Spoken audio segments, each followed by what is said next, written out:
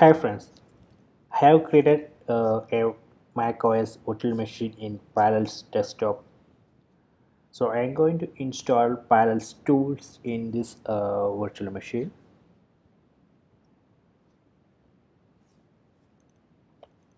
So for that we need to go to devices, sorry, we need to go to actions, then select install Parallels tools, then click on continue.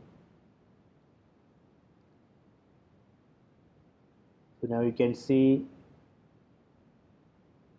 here you can see one discuss mounted here.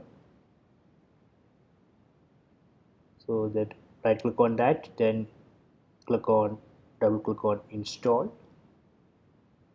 Now you can see parallels tools installation agent one pop-up window now installation is in progress.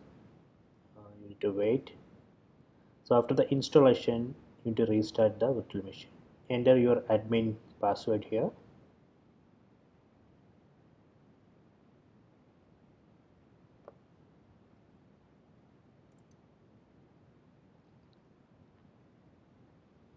Okay installation completed. Now we have to restart the virtual machine. Click on restart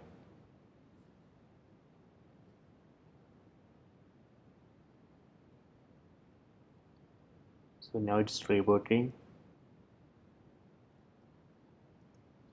so let me uh, log in.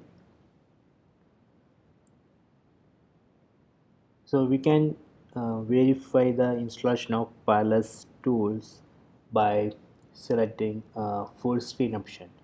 If uh, enter full screen is working that means Parallels tool is successfully installed in your virtual machine or you can go to the applications and can see the Parallels tool app there.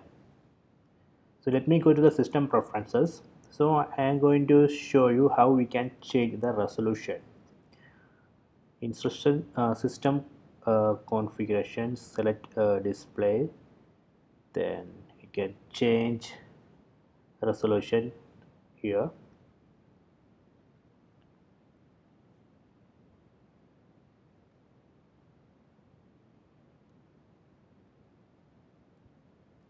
so you can also verify like this. Uh, again go to the actions. Then uh, there you can see reinstall parallels tools. That means parallels tools already installed.